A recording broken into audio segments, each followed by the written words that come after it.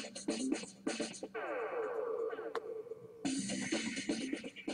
welcome to DEFCON 3. I'm KT McFarland. The missing plane. The mystery continues and it seems to increase. We seem to know now, almost 10 days into it, less than we knew on day one. So we decided to bring in a, a guy who really does know how to do crisis management. Tom Ruskin, he's the former NYPD detective in charge of crisis management for New York City.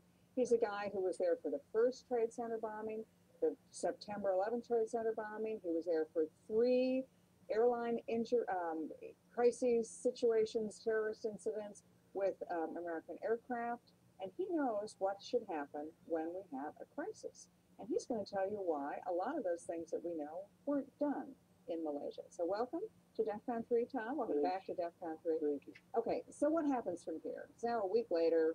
Nobody knows anything more than they knew the first day. Well, we, we do know more. We do know that the plane made two dramatic turns. It made a turn where it lost its transponders. It made a turn to the west. It made a dramatic left-hand turn if you look at a screen. And then it made another dramatic right-hand turn shortly thereafter. I believe that that was to elude radar or any kind of pinging. But we also know that the transponders were simultaneously shut down, which means if it wasn't a catastrophic event on the plane, Mhm. it means that someone purposely did this, which means a criminal investigation. Needless to say, the Malaysian government has now come out and they believe it was a criminal act. So my question to the world is why at this point in time haven't we shut down Kuala Lumpur, Malaysia Air, and, and conduct this criminal investigation? Because if someone could do this, you're dealing with a plot of more than one person, more than two pilots if they were both involved, to be able to carry this out. So why at this point in time haven't the Malaysian government shut down this airline? Okay, so in other words, if it was something other than equipment malfunction, Mhm. if it was terrorist, if it was suicide, if it was hijacking, any of those things, there are other people who probably know about it and they're still free. They were not on that plane. Not only people who knew that, people who could have been involved in it, gotten other people onto the plane without anyone's knowledge. The flight, the people who get the plane ready could have put things on the plane. The Malaysian government themselves have come out at this point in time and said, this is a deliberate criminal act. Right. We know that the plane made these two dramatic turns. It doesn't look like that's a catastrophic event. Mhm. You don't make a turn dramatically to the west and then make a dramatic turn to the northwest at a certain point in time.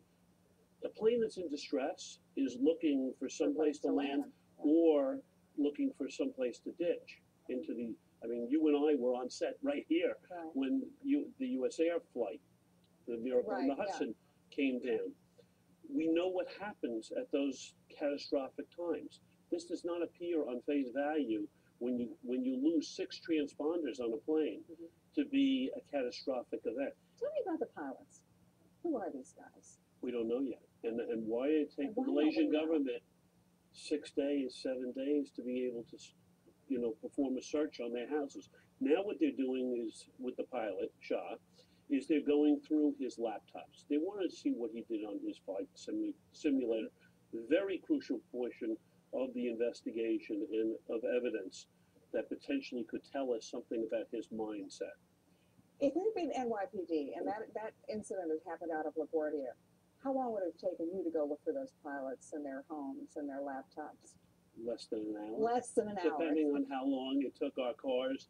We would have, let's say they were outside the jurisdiction, they were in Long Island, we would have immediately had Suffolk County respond to the house and seal the house off until New York City could have gotten there with the search warrants.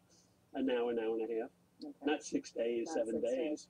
What is the U.S. role in all of this now? I mean, we're the A team, right? We We're- are we're the pre- A team. Pretty clear that Malaysia is not the A team, probably not even the B team. We So, are the A team probably anywhere in the world. The N- NTS, NTSB is the lead agency in investigating these type of things worldwide. They, they are asked by other governments to come in to assist those governments.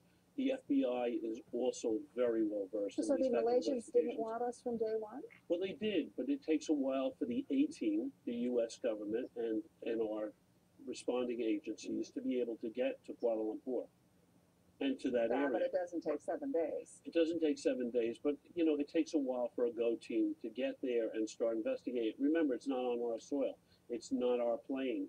So we have to be invited in and then we have to start at the point in time when we lost Americans on that plane, and we know right now we know three Americans were on that plane. Then it and- becomes our, then it's our well, issue. it's, it- it's definitely of our concern, and it's definitely of our government's concern, as you well know, being in the position of the White House and the State Department, you know, at that point in time, it does become a US incident. Mhm.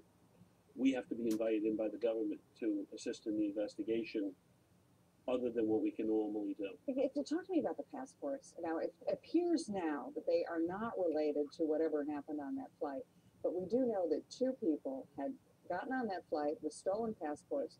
Isn't that supposed to be an international database? That that's not supposed to happen anymore? Well, Interpol had them in their database. I don't know where the failings are here, and you and I have discussed this off camera. But the failings are, we're still not up to speed after 9/11. What we learned from 9/11, what we learned from the 9/11 Commission report, Mhm. is that people with stolen passports are on a plane. The plane tickets were bought with cash, Cash. one-way tickets, and they didn't pay for the tickets. Someone else from Iran, Iran that's, that's paid should for the be tickets. Usually, four or five woo blinking lights, right? I would say flares, uh, Gucci, you know, fireworks explosion. You have to look at all these warning signs. Now, we don't know if they had anything to do with the, the plane disappearance, and we can't assume that they did. Mhm. But at this point in time, why isn't the international system up to speed to know that people are boarding a plane that probably shouldn't be on the plane, or at least should be questioned? They wouldn't be getting on an El Al flight. Right, that's a good point. I mean, El Al would have profiled these guys up and down. They would have been off the flight. There's some, some um, speculation has said, well, was there something that was pre-placed, pre-positioned on the airplane? Either people who were pre-positioned in hiding, waiting to take over the aircraft, or maybe weapons that might have been pre-positioned um, so that the, whoever was getting on the plane to do something bad knew where to go look and Right. find the weapon. What's the likelihood of that happening? I would say at this point in time, it's something you'd have to look into. It would be part of my investigation. Mhm. Something happened on that plane. And the scary portion to look at at this point in time, voice data recorders and the flight recorders re-record over every two hours. This plane was in the air for six to eight hours from what we know and had the ability to fly six to eight hours beyond the first event. Mhm. Provided we find the plane and the voice recorder, which I think eventually we will, or someone will find the plane and the voice recorders, whatever the event is, we'll only hear the last two hours. Two hours plus. The reason that it's like that is the hard drive is not big enough to contain more than two hours. Because most events in a plane crash or in a plane catastrophic event Right. happens within two hours. Whatever the catastrophic event is, it Mhm. doesn't fly for two more hours Mhm. thereafter. It either lands or it crashes. Let me take look at this from a different perspective. We've all been focusing on what do we know about that plane? What do we know about the pilots? What do we know about the people on the crew? How about taking it from a potential perspective of let's assume this was a dry run of some sort. What do they now know about our reaction?